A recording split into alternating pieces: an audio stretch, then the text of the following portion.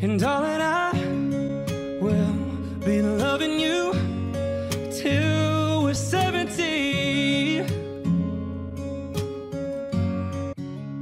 I know you will still love me the same.